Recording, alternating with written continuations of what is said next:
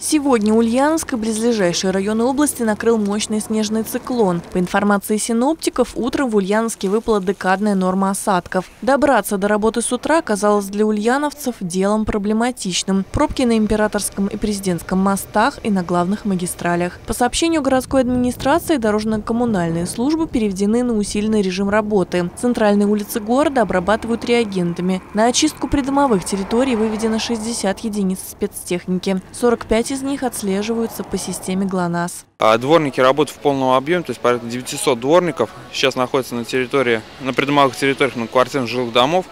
Очистка происходит, э, то есть будет происходить в течение всего дня до, скажем так, пока не будут очищены все дворы. На очистку территории города от снега вышло 83 единицы спецтехники. А, у нас в наличии имеется 42 единицы комбинированных дорожных машин, все они сейчас на дороге вышли.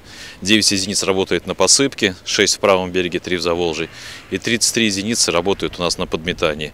Тем временем снег не собирается останавливаться. По прогнозам синоптиков, буран продлится вплоть до вечера. Завтра же ожидается понижение температуры до минус 12. В связи с неблагоприятными погодными явлениями Главное управление МЧС России по Ульяновской области обращается к ульяновцам с просьбой ограничить передвижение на личном личном автотранспорте. В мэрии горожан просят не парковать автомобили на обочинах дорог и во дворах, так как это мешает работе снегоуборочной техники. По вопросам уборки улиц от снега можно позвонить на круглосуточную единую диспетчерскую службу по номеру 05, а также по телефону 35 40 78.